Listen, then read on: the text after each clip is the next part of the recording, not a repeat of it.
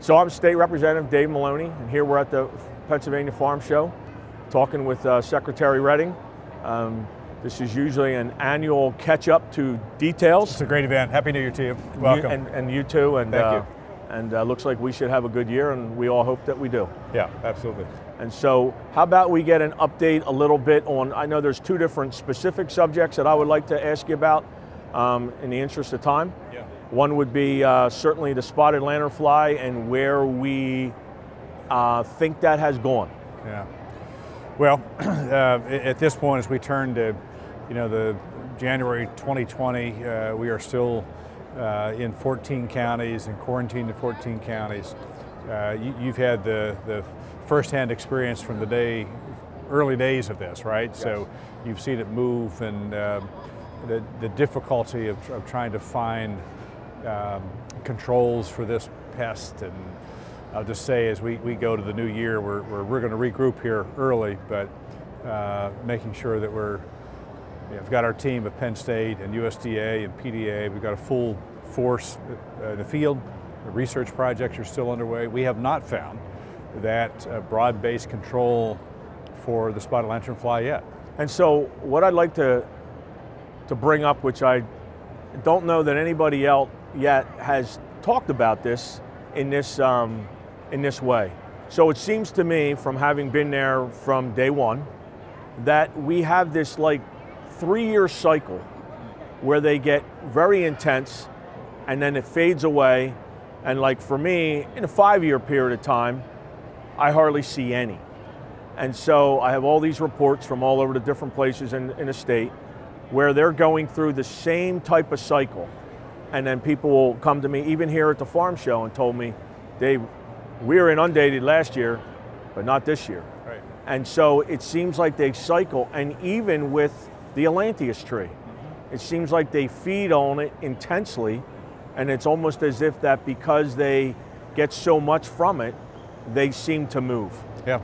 Uh, you know, I mean, you, you, point to one of the, the, you know, complexities and perplexities of this is that you can have intensity and then none, and then back to intensity, right? And, and we've seen in the 14 counties all the variations. People who were just absolutely sick that they were infested with these things one year, and then the next year they're tolerable, right? right. Uh, we don't know what the what the chemistry of that, the biology, behavior of it uh, looks like. Maybe it follows the pattern of the stink bug, where it's intense, and then, then, then you have this sort of, it relinquishes. But at this point, we don't have any way to control it, uh, and it's an invasive that feeds on an invasive, as you, you right. allude to. But at the same time, um, and we're hopeful we can keep it within the uh, 14 counties and then suppress the population. Because we've got it, the problem we have, it's got also now down into Philadelphia. Yeah, right? Sure. So if it gets. And we know, know, that port is a problem. We know the port's a problem. And, and making sure, because the other countries have already put us on notice. Right. Other states have put us on notice. We're going to work hard at it. I mean, I appreciate the support. I mean, you've been a great advocate for the funding and support and challenging us to really think creatively about how to control it. I appreciate that. Um, we're just, we're just not there in terms of having that, that uh, way to get out there and control it. Right. And, and I see that as something that we more or less uh, get thrown into a, an arena sometimes that we have no idea we're going to be. Yeah. And to me, that's um, an interesting part of my job where not necessarily the job description, but it brings other things because it's what you live and where you live right. and how that can impact you. So moving on to my other subject, um, you know that I've been very um, instrumental also in monies and that would be for CWD. Right. And so um, the CWD that really, uh, the monies, the million dollars in this past budget that I was instrumental in, really had a purpose, which is to really create test kits so that our hunters would be able to test, we would be able to know in a short period of time if a deer does have uh, CWD and be able to address it aggressively that way. Yep. What can you speak to in terms of what I just shared? Right, so I will say a couple things. One, uh, thank you. Uh, first year we've actually had a, an appropriation. Right. Uh, it wasn't easy. It wasn't easy, and I appreciate that, right? Because we, we've talked about this before. Everything else that we were doing, we had to go to animal health. We had to pull it away. Something else was sacrificed to get money for CWD except this year. So a million dollars, first time, state history, part of the farm bill, and I appreciate that, right? So now uh, we put it out. The second thing is we, we ask, we put out the call for proposals, the, the, The request, RFP. RFP is out, right? And they're back. Uh, and we hope that this month we can get those reviewed so we can make some decisions and commit the million dollars.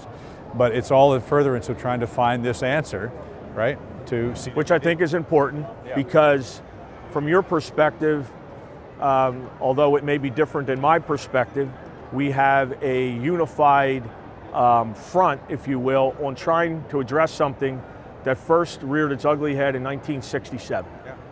And so, because it was in Colorado, and we're evidently, as we very obviously are a few states away, this is something that has not been figured out. It's not figured out. And that's why, to me, it's almost a parallel to the spotted lanternfly with respect to, um, yes, it has a different impact, but nonetheless, um, people don't agree.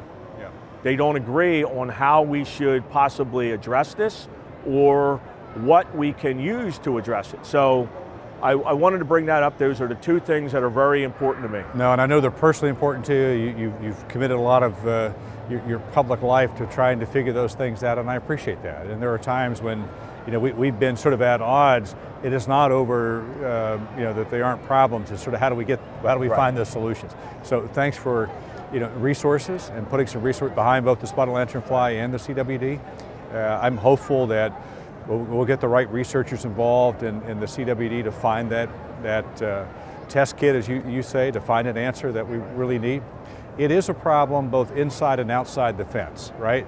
Right. Uh, and I think that's one of those things that you and I can agree that everybody wants to push it out to the wild or push it into Right. the. That's, I think that's silly. I mean, Right. right. At the end of the day, it's here. How do you want to manage it? Solution So- should work both sides of the fence. It's got to be both sides of the fence. Uh, I'd also say we need the USDA. There has to be some, uh, you know, uh, national leadership on the CWD. What runs into Maryland, what goes into New York, what's hit, right? Right. It's a, it's a, it's a United States problem. It's not just Pennsylvania's. That's why I brought that up about it being from 67 back in Colorado. Yeah. And because we have not figured this out, or because we have not either been able to find a direction, we're dealing with this. And we're talking about not only heritage and tradition, we're talking about billion dollar industries that are relying on us to find an answer to this. Absolutely. So um, I, uh, I will tell you again, uh, I didn't expect to go to Washington, D.C. for the spotted lanternfly like I did, but I will be going to Washington, D.C., uh, DC, God willing, for the CWD. Yeah. And so I have people nationally that have reached out to me. I have people who have invited me down there, and, and I'm looking for anything that can be shared to fix a problem. Well, keep advocating. I mean, I think you, you get it in terms of it's it's a both a uh, it, it's a heritage issue, but it's also an economic issue. Oh, my word. Right, and it's, it's a health issue for our our, our deer, domestic and wild, um, and what impact that has on people's perceptions Sure. of both the industry, Right. but also what Pennsylvania does in terms of its its heritage. So, thank our, you. Our, our management, not only wild wildlife management, but you know the habitat management, I believe has created. I know for me personally, a tremendous concern on what do we do with our habitat to address this, or to at least to help to address it.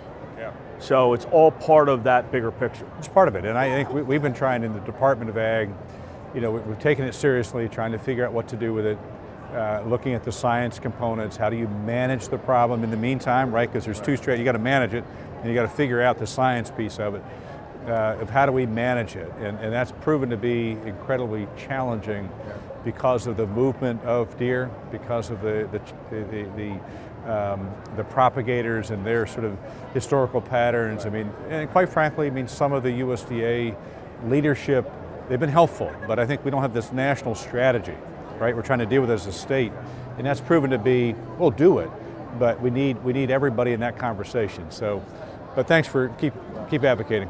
And that's what we have to do. Yeah, yeah, so appreciate it. thanks again, and uh, happy, happy, New Year, Look to you. Thank, Thank you. Yep. Appreciate it.